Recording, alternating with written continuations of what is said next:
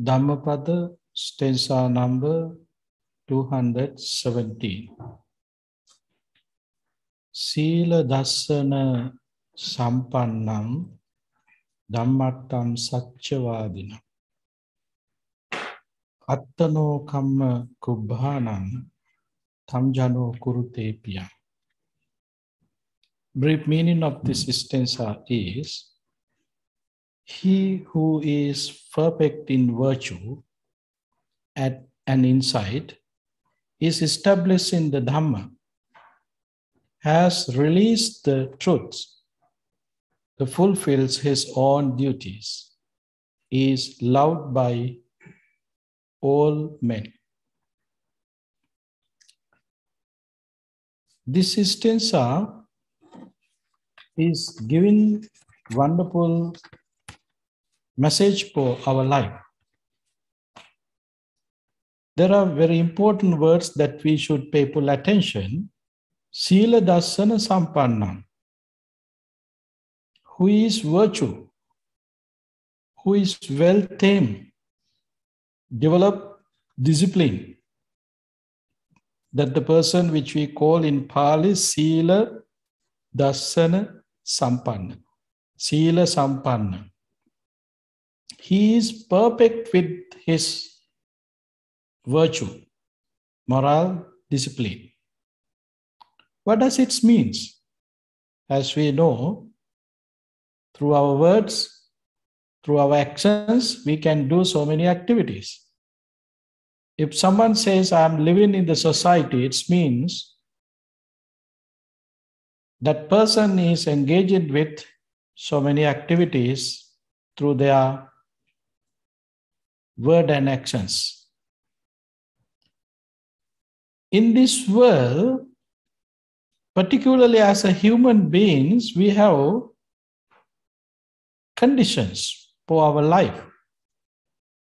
The meaning of human beings, according to the Pali explanation, Manussa is the Pali word that we use for the human beings or Homo sapiens sapiens. Meaning is that mana ussa. Mana mean the mind. Ussa mean great. Who has a great mind, he is manussa. Then, among all other living beings, human beings are very special because of their thinking ability, their thinking capacity, their brain capacity. They are very special. To show that special, specialization, they have to have specific actions, which we call virtue, discipline, is very important. If we are talking about human beings, then you have to talk about the culture. When we are talking about the culture, in there, you have to talk about norms, values, taboos, rule, rulers, rules, law and orders, all these things. There is no human beings without the culture. Where the culture, there should be human beings. That's why, as we know, we all living beings are eat to survive. But we are different with other living beings. When you go to table, you have table manners to follow. Have you seen any cows, dogs, cats? Are they following any cultural things? When you go to sit for your table, you have to think about your fork, spoons, all these items, plates, cups. But any of other animals, are they asking about any of these items? No. When you go to sleep, you need the place, suitable place to sleep. Perhaps you might need mattress. pillow, pillowcases, bed linens, comfort, particularly in these days. Yes, you need all these things. Is there any cats or any dog asked any of these things? No. But we create. And also we are changing all these things each and every moment. Each, each and every moment means at the end, few, uh, within in few years, we can see that differences. But it's uh, we are changing ourselves, and also the, we are we like to see that changes outside because we have different thoughts, different ideas. The ideas that you had when you were kids is different ideas that you have now. The concepts are different. Why? This is the nature of your human mind. This is the nature of your human mind. So, this is why Sila is very important for human life. Bhante G always use, use a simile. There is a river. You want to cross that river. To cross the river, you should have a bridge. Somehow there is a very narrow bridge. You have to cross. If there is a narrow bridge, then you should have supports for that narrow bridge to hold. Otherwise, it is not easy to cross that river. Holding that supports, you can cross that river peacefully and happily. Dear friends, same as in this life, as human beings, we have to cross this sansaric ocean. To cross this sansaric ocean, be carefully, you should have that discipline with you. If you don't have that discipline with you, you might fall down into the river. You don't know where you're going to stop. Where would be the end of your sansaric journey? You don't know that. You don't have control. It is out of the control. But to control your journey, to reach the destination peacefully and happily, you should have this discipline. You can see around the world with your experiences who are living with us what is happening to their life. We all already we, are, we have enough suffering. We don't want to take more suffering, extra sufferings. So we have to tame, we have to develop our spirituality, observing precepts uh, for what to control unnecessary burdens. We don't want to have more burdens we already we are burning. So sila is virtue is one of very important thing for our life to get rid, to control your suffering, to reduce your burdens. That's why in here in this stanza, it's mentioned Sila Dasana Sampannam, who is perfect in virtue and insight is established in the Dhamma. In here, the word Dhamma is very important. Dhamma means the nature. Who can respect the nature? Who can live in according to the nature? Universal law. Who has discipline? Who has discipline? Who has development, insight development? They can live according to the natural law. Whatever the abilities we have, whatever the skills we already develop, everything is under the natural law. Natural law is the law, no one can go beyond that. As you know, in the America, you have uh, sentences law is the most important thing. But that law is not most important than the natural law. The natural law is the most important law. We everybody should respect the natural law. If you are not have that kind of uh, flexible mind to respect the natural law, you are in trouble. You're suffering. You are gaining suffering. You're not reducing your suffering. Because natural law is the law that you don't have, you don't, uh, that uh, there is no any opportunity to bribe. There is no any opportunity to bribe. But other laws, as you know, in generally in the world, you can bribe, you can pass something under the table, everything will be okay. But in this natural law, no one can do, do that, these hidden things. It's very open, very clear. It is uni- unique to everybody.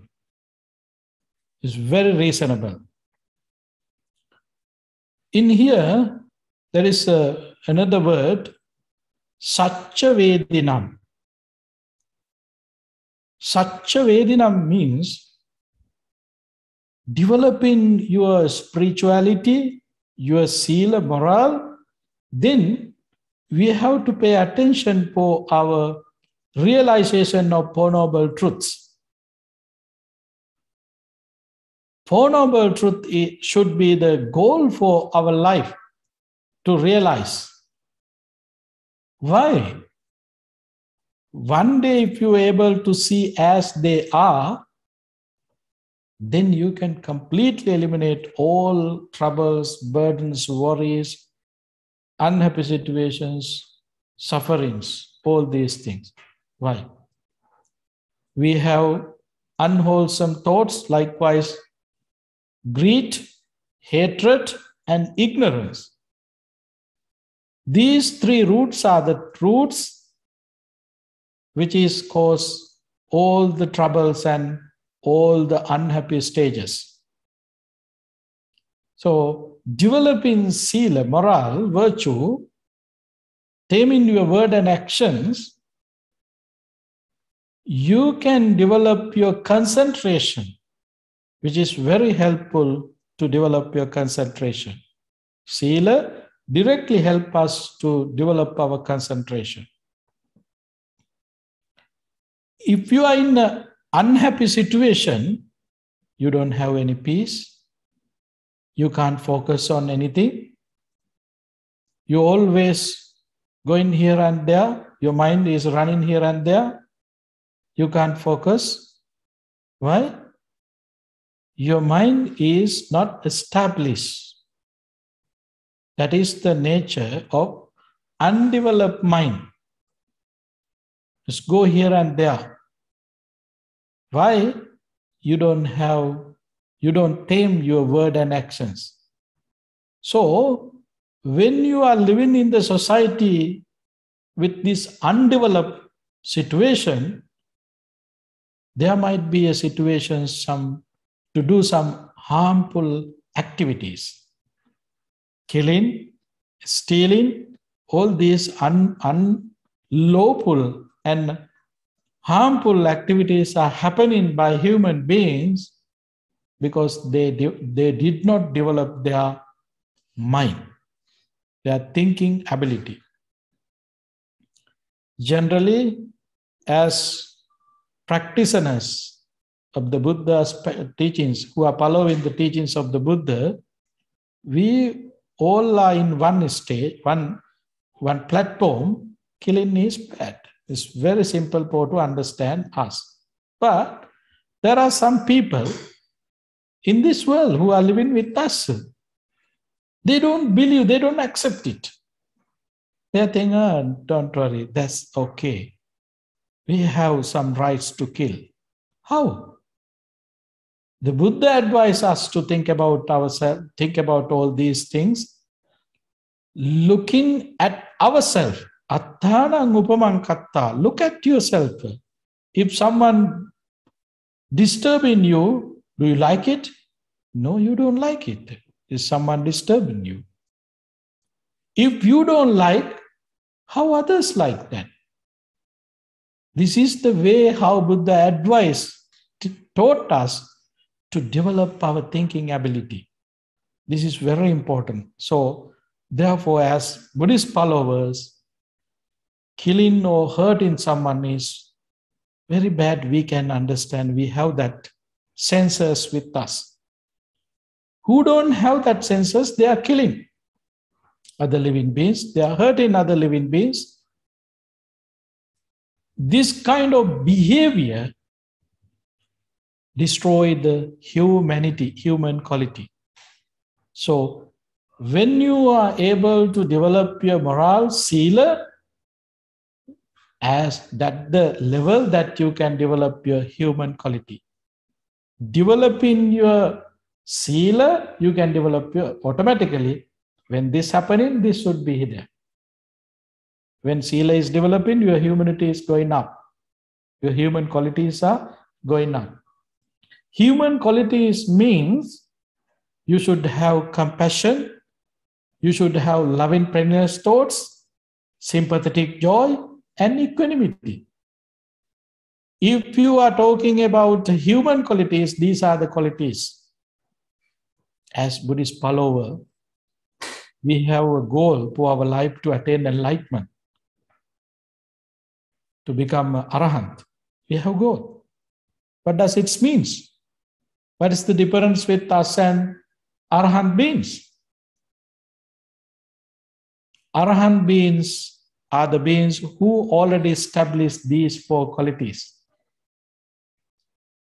They completely establish not to change these four qualities.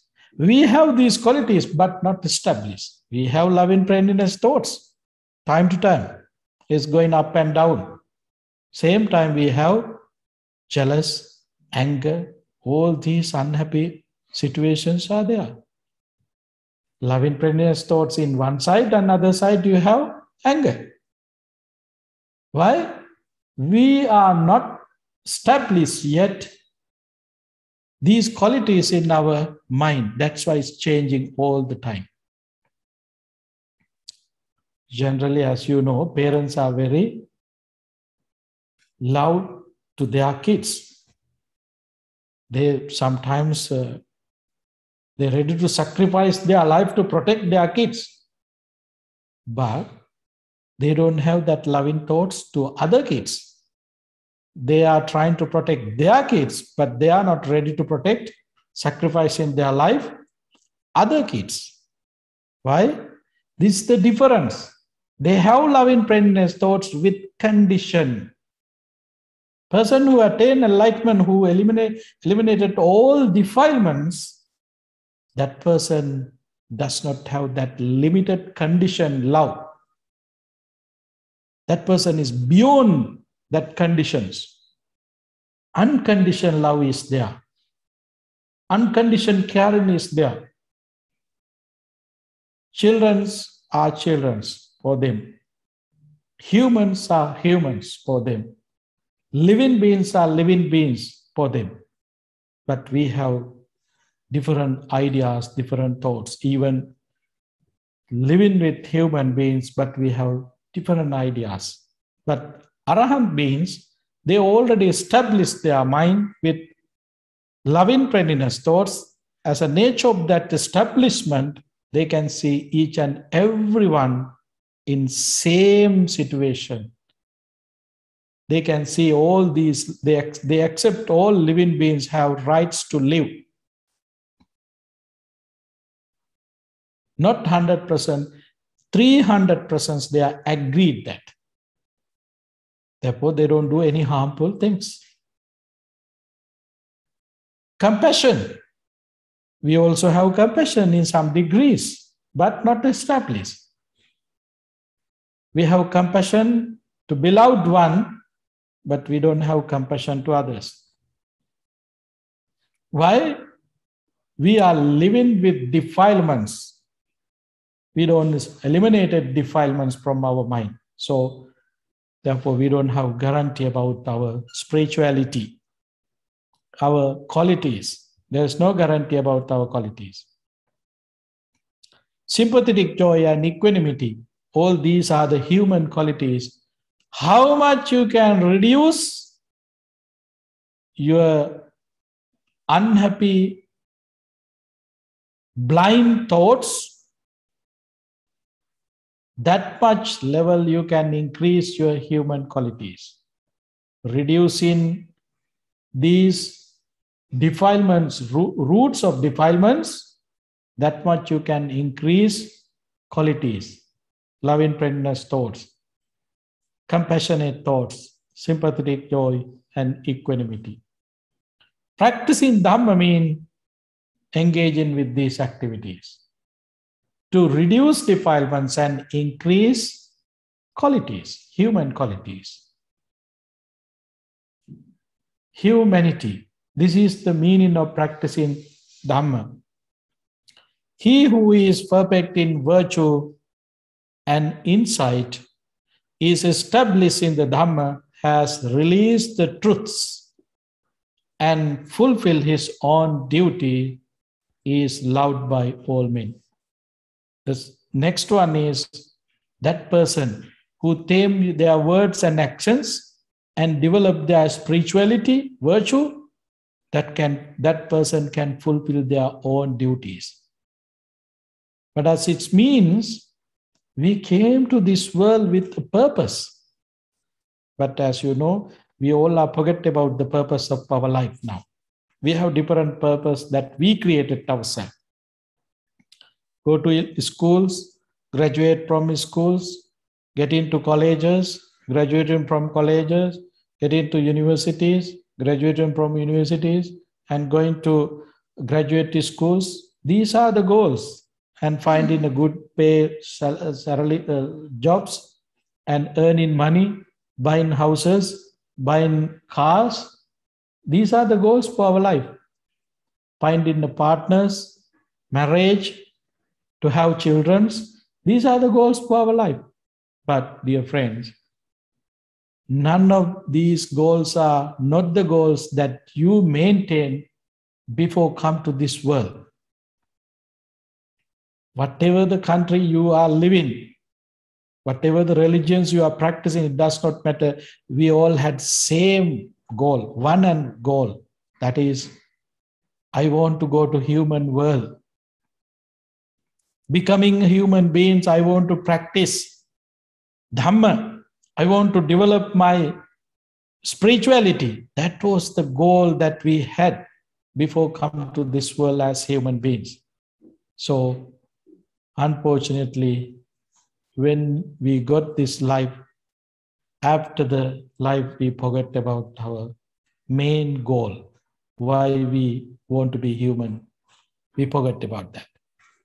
But you are lucky, you are able to listen to that goal, remind that goal that you forget, then it is time to start to recall your goal and develop your strength to practice. Now you know the path. Let's do it. Thank you very much.